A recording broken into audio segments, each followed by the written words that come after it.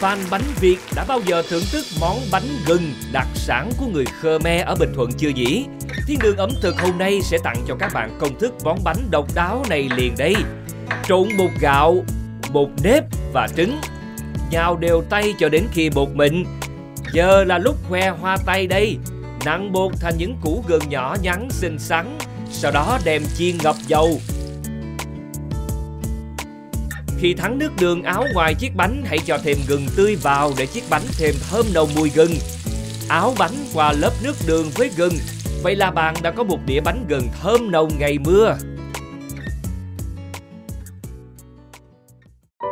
Bánh nậm mặn thì ai cũng đã biết. Hôm nay Thiên đường ẩm thực sẽ giới thiệu món bánh nậm chuối lạ miệng.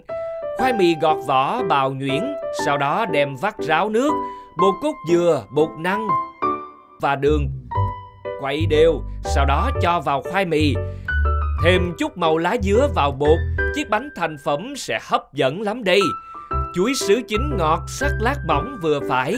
Vậy là đã xong nguyên liệu, gói bánh thôi nào.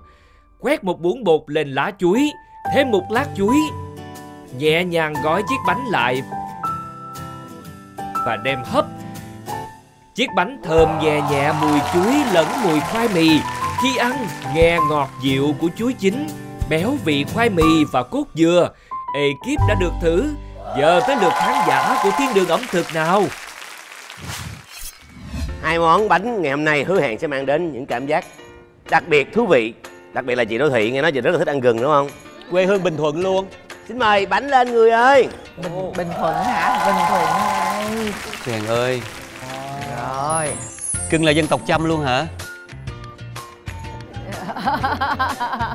cô ấy cũng chăm mà chăm chỉ đó Xin mời mọi người.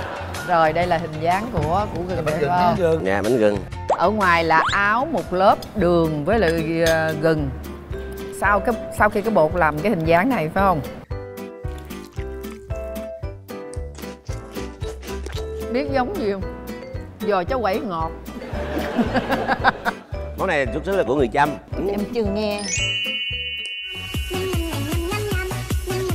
Ngon chứ? Món ngon chứ anh? ăn cái món này á là phải ngồi tối coi tivi đó ăn cơm xong xuôi nó có để ly trà xong vừa coi tivi vừa nhấm nháp cái này nó mới đã uống trà Cái món này rất thơm Đúng rồi, tuyệt vời á. Nó không có phải là thơm quá nhưng mà nó cứ thoang thoảng thoang thoảng Đúng mà cái này anh Lê Hưng nói là phải có cái chén trà nữa Tuyệt đỉnh Tuyệt đỉnh công phu á. Đây bây giờ tôi nếm tới cái miếng à, bánh nè Thơm Ừ.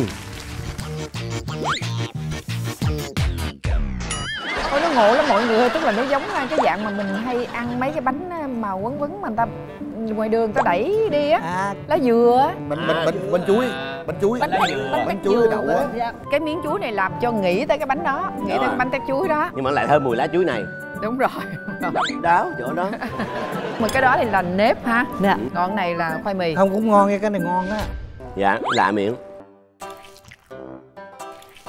Phải thừa nhận là cái bánh này cái vị nó rất thanh Ừ. Bánh này rất ngon ngon mà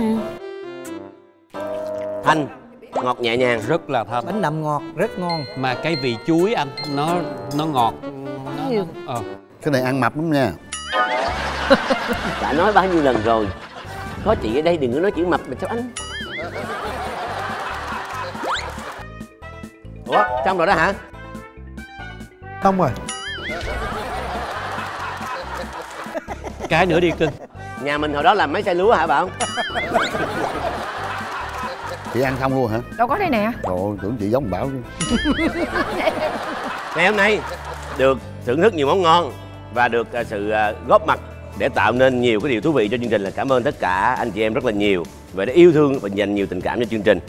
Và hứa hẹn là mọi người cũng trong ekip cũng thấy cái sự nhiệt tình của mọi người tham gia chương trình nên sẽ ngày một hoàn thiện hơn về nội dung để cho tốt hơn. Bởi vì đây là những người làm về nội dung rất là tốt. Và đây là những người à, có những cái phần trình diễn rất là tốt. Và ngày hôm nay rất là thoải mái anh chơi rất là vui vẻ. Đó hai anh ấy anh rất là vui vẻ với nhau. Nha sau đây là những phần quà dành cho tất cả mọi người. Cảm ơn rất nhiều. Cảm ơn bạn. Đây cảm ơn gia bảo cảm ơn à, cô kim xuân. Con. Cảm ơn anh hoàng sơn. Rồi cảm ơn. Đó. Hay quá cảm ơn anh hưng rất là nhiều. Rồi cảm ơn.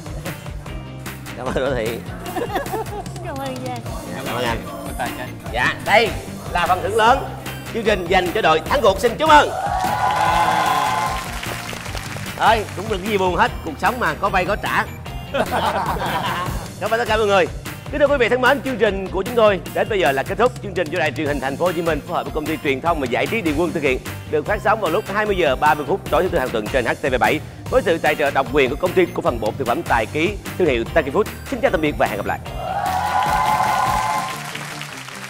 nào cùng khám phá kênh chế biến món ngon thịt ngon, nào cùng mau xem game show thử thách vui thịt vui, nào là thịt nướng hải sản với lẩu siêu đã luôn đội nào chiến thắng thì ăn hết luôn nào nào cùng khám phá kênh chế biến món ngon thịt ngon, nào cùng mau xem game show thử thách vui thịt vui, nào là thịt nướng hải sản với lẩu siêu đã luôn. Đội nào chiến thắng thì ăn hết luôn nào bạn phải nhìn đôi đôi đôi suốt cả chương trình đây. Và chẳng phải xem kiến thức của ai hay thật hay. Chỉ một đội thắng tương từng đến món ngon thịt ngon thiên đường ẩm thực ông hoàng hạnh phúc cùng chơi cùng vui